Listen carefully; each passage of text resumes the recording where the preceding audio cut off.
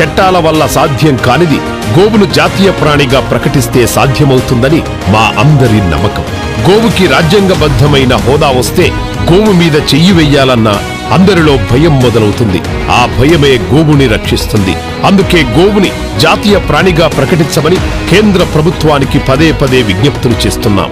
గోహింస ఆగాలని గోహత్యలు ఆపాలని కబేళాలు మూసివేయాలని గోవును జాతీయ ప్రాణిగా ప్రకటించాలని యుగ తులసి ఫౌండేషన్ చేస్తున్న అలుపెరగని పోరాటానికి కులమతాలకు ప్రాంతాలకు రాజకీయాలకు అతీతంగా ప్రజలు తమ సంఘీభావం ప్రకటిస్తున్న జాతీయ ప్రాణిగా ప్రకటించాల్సిన కేంద్ర ప్రభుత్వం మాత్రం జవాబు చెప్పకుండా చోద్యం చూస్తోంది.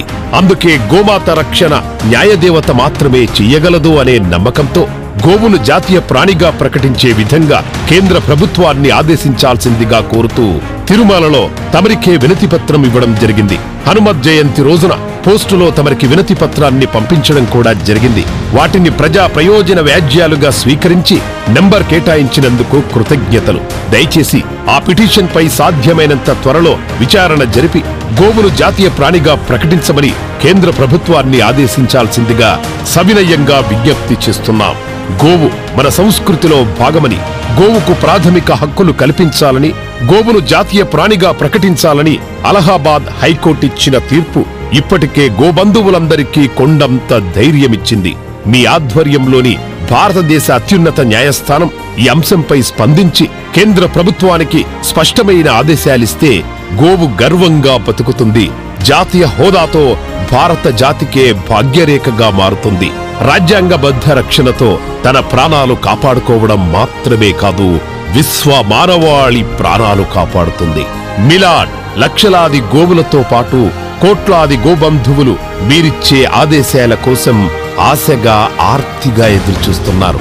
మీరిచ్చే తీర్పు గోవు బ్రతుకుని మాత్రమే కాదు ఈ దేశం భవిష్యత్తునే మార్చుతుంది. కమేళాల్లో మృత్యువు ముంగిట నిలబడ్డ లక్షలాది గోమాతలు నందులు ముక్కుపచ్చలారని లేగదూడల ప్రాణాలు ఇప్పుడు మీ చేతిలో ఉన్నాయి. మైలార్షిప్ దయచేసి స్పందించండి.